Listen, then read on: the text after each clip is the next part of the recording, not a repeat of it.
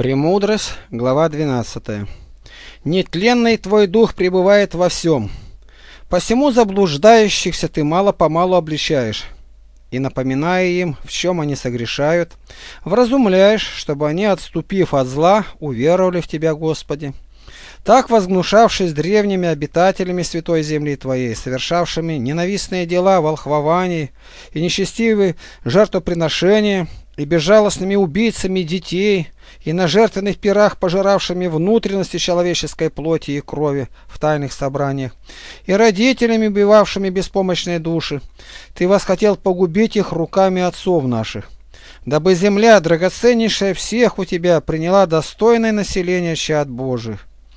Но и их, как людей, ты щадил, послав предтечами воинства твоего шершней, дабы они мало-помалу истребляли их, Хотя не невозможно было тебе войною покорить нечестивых праведным, или истребить их страшными зверями, или грозным словом в один раз. Но ты мало-помалу, наказывая их, давал место покаянию, зная, однако, что племя их негодное, и зло их врожденное, и помышления их не изменятся вовеки. Ибо семя их было проклятое от начала, и не из опасения перед кем-либо ты допускал безнаказанность грехов их. Ибо кто скажет, что ты сделал? Или кто противостанет суду твоему? И кто обвинит тебя в погублении народов, которые ты сотворил? Или какой защитник придет к тебе с ходатайством за неправедных людей? Ибо кроме тебя нет Бога, который имеет попечение о всех, чтобы доказывать тебе, что ты несправедливо судил. Ни царь, ни властелин не в состоянии явиться к тебе на глаза за тех, которых ты погубил. Будучи праведен, ты всем управляешь праведно, посчитая не, не сво, свойственным твоей силе осудить того, кто не заслуживает наказания. Ибо сила твоя есть начало правды, и то самое, что ты господствуешь над всеми, располагает тебя щадить всех. Силу твою ты показываешь неверующим всемогуществу твоему, и в непризнающих тебя обличаешь дерзость.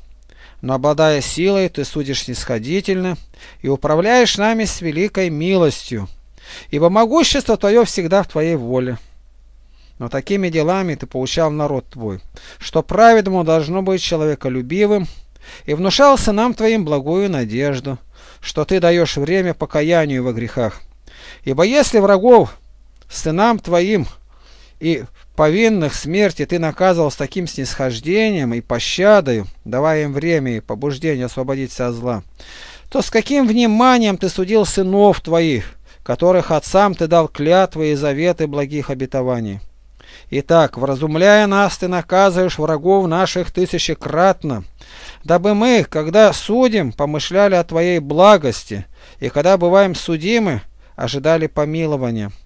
Посему-то и тех нечестивых, которые проводили жизнь в неразумии, ты истязал собственными их мерзостями, ибо они очень далеко уклонились на путях заблуждения, обманываясь, и подобно неразумным детям, и посчитая за богов тех из животных, которые у врагов были презренными. Посему, как неразумным детям в посмеяние послал ты им и наказание, но не вразумившись обличительным посмеянием, они испытывали заслуженный суд Божий. Ибо что они сами терпели с досадою, тоже увидев на тех, которых считали богами, и через которых были наказываемы, они познали Бога истинного, которого прежде отрекались знать.